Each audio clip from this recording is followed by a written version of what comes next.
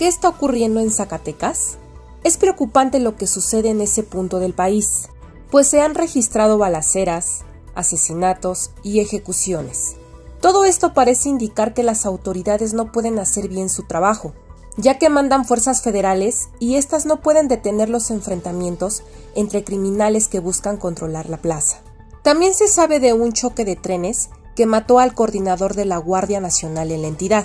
Con estos hechos, Zacatecas se ha convertido en un estado incontrolable, porque los criminales no respetan a la autoridad.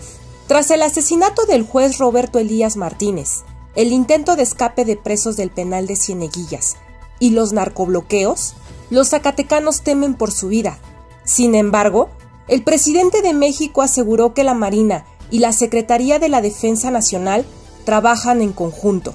Incluso mencionó que no vamos a dejar de darle protección a la gente.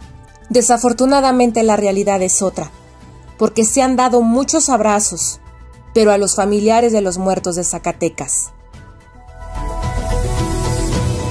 Soy Cintia López, yo influyo.